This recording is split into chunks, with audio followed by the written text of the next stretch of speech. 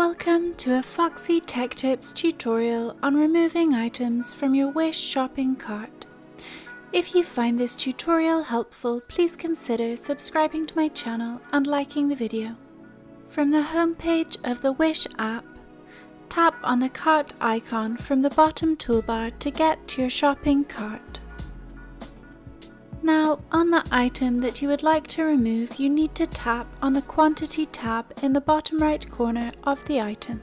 You need to select the quantity as zero. Tap remove item on the pop-up that appears. If you want to remove an item from your cart but you don't want to lose the item, you can add it to your wish list instead.